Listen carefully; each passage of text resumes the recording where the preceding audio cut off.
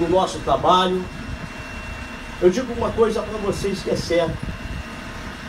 A luta vai continuar. O mar da vida vai continuar. As dificuldades vão continuar. Os problemas virão.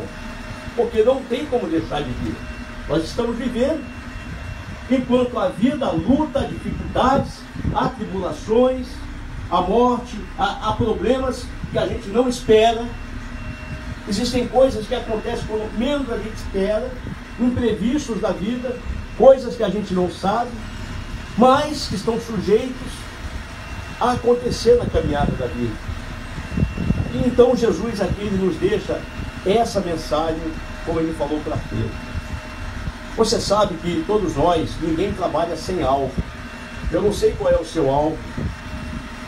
Eu acredito que é o, a salvação, que é o céu. Mas durante esse percurso, durante esse período, vão haver muitos problemas, vão haver muitas tribulações, vão haver muitas dificuldades, vão haver, vai haver coisas que você não espera, que eu não espero. E aqui Jesus, você vê que Pedro ele estava na fé, dizendo: Senhor, é tu mesmo, se for o Senhor mesmo, eu vou até o Senhor. E ele começou a andar. Alguém andaria sobre o mar? Nenhum de nós. O que aconteceu com Pedro foi pura fé. Foi uma coisa extraordinária. Pedro era de fé. Pedro era de fé. Então ele foi mediante a palavra de Deus. Jesus falou: Vem. Pedro começou a andar. Pedro não duvidou. Enquanto ele começou, estava na fé, crendo, andando, ele ia chegar até Jesus. Mas quando ele olhou para a condição dele, humana, quando ele olhou para a condição, ele olhou para si e disse, eu sou Pedro, eu sou um pescador, eu tenho sentimentos. Ele olhou assim, olhou para o mar e Pedro afundou. Você sabe, meus amigos, a verdade é que a verdade é que isso vem para a nossa vida mesmo, porque nós somos humanos. Vem para todos nós. Ninguém é de ferro. Vem. Vem. Vem a dúvida. Para todos nós vem a dúvida. Vem as dificuldades. Para todos nós vem a dificuldade. Ali Pedro afundou. E Pedro clamou e Jesus foi e salvou. Eu quero refletir para concluir. Nós não podemos deixar de olhar para o alto, para a palavra de fé, que é a salvação, que é Jesus. Quando nós saímos daqui, nós vamos passar por dificuldade, mas que essa palavra sempre fique dentro do nosso coração. Você que é pastor dentro do teu ministério, vão ter dificuldades. Não é mole, não é fácil construir uma alicerce de uma hora para outra, ganhar algo.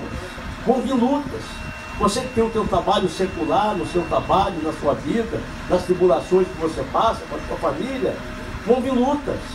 Mas aquele que olha somente para o autor e consumador da fé, ele vai passar por luta, mas ele vai continuar firme na fé. E eu te digo mais, por mais que você escorregue, por mais que você caia no meio do mar, clama-me no dia da tua angústia eu te responderei e tu me glorificarás. Porque nós somos humanos. Nós somos humanos. Então, se cairmos pela fé, por algum motivo, escorregarmos, formos naufragar, podemos ter certeza que aquele que começou a boa obra na sua vida é o mesmo que vai terminar. Muitas vezes a pessoa ela titubeia em dois pensamentos. Ela tem uma direção para fazer na vida dela, mas as três vozes falam com ela. Ela determinou fazer algo, mas a voz do sentimento olha para a condição física dela, a condição humana dela. E a voz do diabo diz: Não vai conseguir, não. Não dá, não. Isso não é para você, não. É para outro. Menos para você. O diabo não fala assim? Mas a voz da fé, meu amigo, sabe o que ela diz? Eu sou contigo. Não temas. Eu sou o Senhor teu Deus. Eu te ajudo. Eu sou teu amigo. Sabe o que ele diz mais? Tudo posso naquele que me fortalece. Então o Senhor diz: Eu sou contigo, não temas. olhai para mim, olhai para a salvação. Então essa é uma reflexão para a nossa vida. Vamos sair daqui, vamos ter dificuldades. Mas se a gente duvidar do propósito que Deus tem para nós, nós vamos naufragar, nós vamos ficar parados e vamos deixar que o Espírito Santo faça a obra que Ele quer realizar na nossa vida. Deus não faz obra incompleta, a obra que Deus faz é completa.